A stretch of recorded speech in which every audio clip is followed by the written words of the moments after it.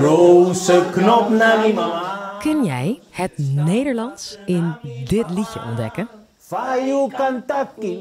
De mensen die je hoort zingen in Sranantongo, een taal geworteld in het slavernijverleden van Suriname. Dat is mooi liedje.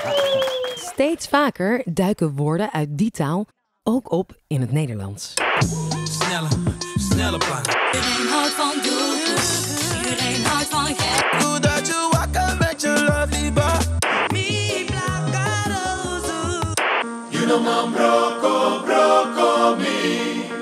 Brocco, mi blaka rosu, doekoe. Woorden uit het Sranantongo die we kennen en misschien gebruiken, maar vaak zonder te weten waar ze precies vandaan komen. Hoe kan uit een gruwelijke geschiedenis een nieuwe taal ontstaan? Wij zijn de Universiteit van Nederland en met die vraag gingen we naar Leiden. Naar taalwetenschapper en directeur van het Taalmuseum Fresco Samsin.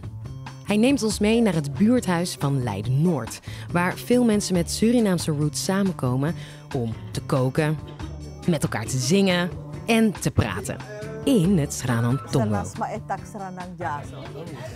Het Sranantongo is een taal die wordt gesproken door Surinamers. Mensen met Surinaamse wortels.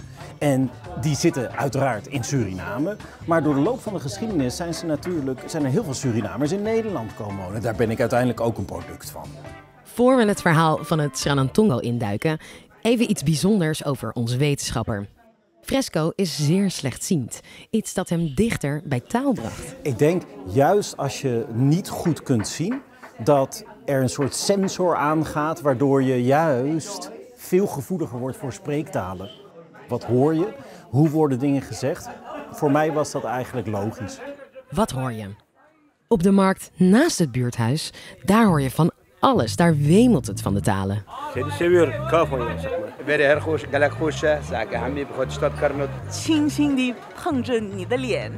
Om te snappen hoe het Sanantongo is ontstaan, is het goed om te weten hoe een taal, zoals bijvoorbeeld het Nederlands, normaal gesproken ontstaat. Het Nederlands heeft als oermoeder het Indo-Europees. En Indo-Europees is ontstaan in de omgeving van Turkije. En vervolgens mensen gaan, zoals nu ook, we gaan reizen op zoek, avontuur of door oorlog, je gaat verplaatsen. Maar in de basis heb je nog steeds heel veel woorden met elkaar gemeen. Neem bijvoorbeeld het woord neef in het Nederlands. Dat is bijvoorbeeld in het Engels nephew. En als we dan bijvoorbeeld kijken naar het Sanantongo, is het niffel. Maar ja, Sanantongo is geen Indo-Europese taal. Dus hoe dat dan zit.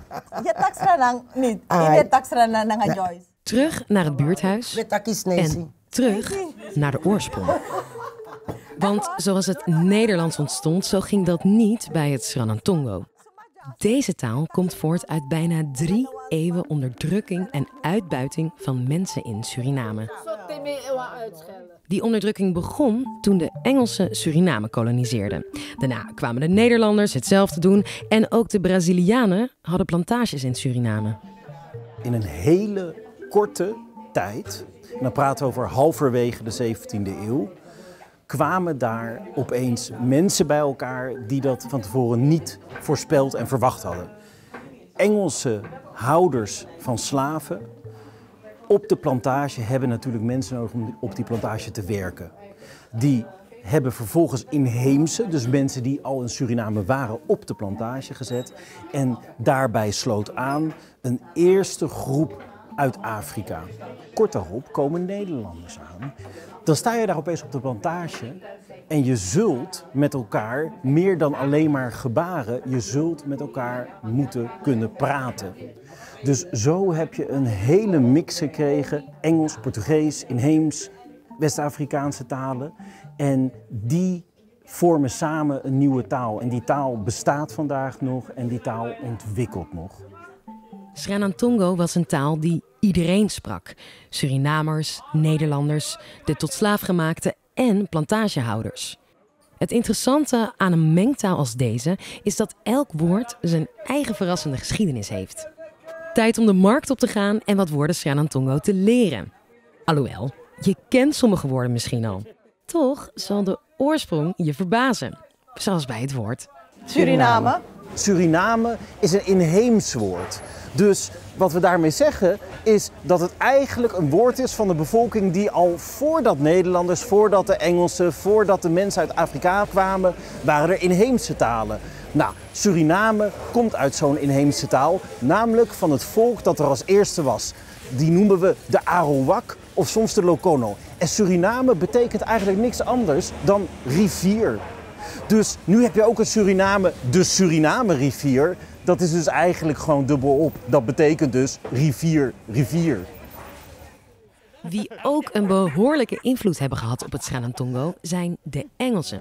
Zoals bij het populaire woord. Fawaka. Nou, Fresco. Fawaka? Alle jongeren zeggen natuurlijk nu gewoon fakka.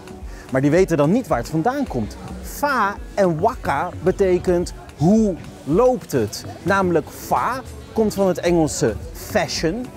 Dus fa wordt fassi en vervolgens helemaal verkort tot fa. De wakka is van walk, lopen in het Engels. En zo ontstaat dan fawaka. En daarom dat mijn oma kan zeggen op de vraag hoe gaat het, hoe loopt het, zegt ze nou, tapumitu futu, op mijn twee benen loop ik. Dus dat is een beetje de herkomst van fawaka. De Engelsen haalden de eerste Afrikanen naar Suriname. Als deze tot slaafgemaakten de kans kregen, namen ze zaden mee. Zoals die van een soort, ja, lelijke komkommer. De sopropo. Sopropo. Hallo, heeft u ook sopropo? Ja, zeker? Mag ik er vier alsjeblieft? Gaan we voor regelen hier. Dank u. Ja, dank u, dank u wel. Fijn weekend. Fijn weekend. Nou, sopropol is dus een groente die komt uit Afrika. En dat is niet toevallig. De tot slaafgemaakten gingen aan boord en die gingen soms aan boord met de zaden. Zodat ze, waar ze ook heen gingen, toch nog hun eigen eten hadden. Nou, sopropol is daar een voorbeeld van uit Ghana. En het woord is dus ook uit de Twi. En dat is een taal uit Ghana. Het is ontzettend bitter, maar ik vind het ontzettend lekker. Een Surinaamse vrouw op de markt is minder onder de indruk van de sopropo's van Fresco. Deze gehoutjes zijn zo klein. Zijn klein, hè? Ja, ja, ja. Misschien wel een van de bekendste woorden uit het Sranantongo onder Tata's, je weet wel, witte Nederlanders, is patas. Pata. Patas is inderdaad een woord dat gebruikt iedereen, jong en oud, maar vooral jongeren, voor sneakers of voor hun gimpies. Nou, patas, die S erachter, dat doen we in het Sanantongo niet. Het is pata. Pata komt uit een hele andere taal, dat komt uit het Portugees. En dan denk je, waar komen de Portugees vandaan? Nou, Portugezen kwamen uit Brazilië en gingen naar Suriname en hadden daar hun eigen plantages. En zo zijn er dus in het Sanantongo zijn er allemaal Portugese woorden gekomen. En dat zijn eigenlijk vaak hele belangrijke woorden, zoals brasa, omhelzen, of boem van goed, aboem. Dus pata is een hele goede als voorbeeld van Portugese woorden. Sranantongo is zo'n gemixte taal dat het soms een raadsel is voor taalwetenschappers waar woorden nou precies vandaan komen. Neem het woord kotto. Een kotto is een hele grote, mooie jurk waarbij een vrouw echt krachtig overkomt. En zo'n vrouw noemen we een kottomissie. Een missie betekent mis, hè, van mevrouw, maar kotto weten we niet. Kotto is ook niet zomaar iets wat je hier zomaar op die markt kan krijgen. En de etymologie, dus de woordgeschiedenis van dat woord, ja, dat kunnen we ook niet zomaar ergens vandaan halen. Nou, Mensen dachten misschien komt het van katoen, cotton, hè, cotton, of komt het van coat. Nou, klinkt logisch, maar de oplossing is waarschijnlijk niet zo logisch als je zou denken. Namelijk, kotto komt zeer waarschijnlijk van schort. Nederlanders gaan naar Suriname, zeggen al skort, want mensen zeiden niet allemaal schort. En vervolgens van skort valt die S weg door snel spreken. En aan het einde heb je heel vaak dat er nog een klinker bij komt in het Surinaams. Dus opeens schort, skort, kot, kotto. Snap je? In het buurthuis wordt inmiddels gekookt en druk gekletst. Over eten gesproken. Er is een typisch Nederlands woord dat helemaal niet Nederlands is, maar uit het Sranantongo komt. Dat woord hebben we te danken aan Surinamers die vorige eeuw naar Nederland kwamen. Pindakaas, daarvan denk je, ja, dat is echt een heel Hollands woord. Pinda komt eigenlijk als woord uit de Kikongo, een West-Afrikaanse taal. Vervolgens zijn er in Suriname een soort koeken ontstaan waar pinda in zat. Maar die pindakoeken werden gesneden als kaasplakken. En zo krijg je pindakaas. Dingen kunnen heel onverwacht lopen met taal. Wow, wie had gedacht dat een woord als pindakaas zo'n geschiedenis heeft? Als ik zeg, Gran Tangi Fubing Luku na aflevering Disi. Kan dat? Leuk dat je luisterde of keek naar onze podcast met beeld. Tot de volgende!